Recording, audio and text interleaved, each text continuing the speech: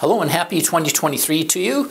Patrick Walchuk here with an update on how 2022 ended with uh, the statistics for the month of December in Kanata.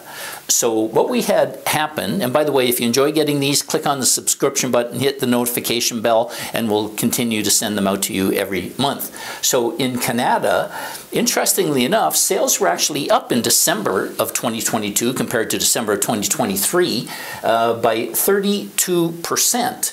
For the rest of Ottawa, overall, sales were actually down, so Kanata did quite well. In terms of prices, though, the average uh, uh, price uh, in Kanata is $680,000, and that's a decrease of 14%.